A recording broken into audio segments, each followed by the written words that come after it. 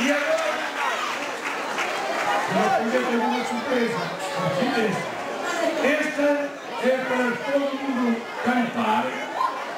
Quem não souber cantar, chora, sai música de Esta.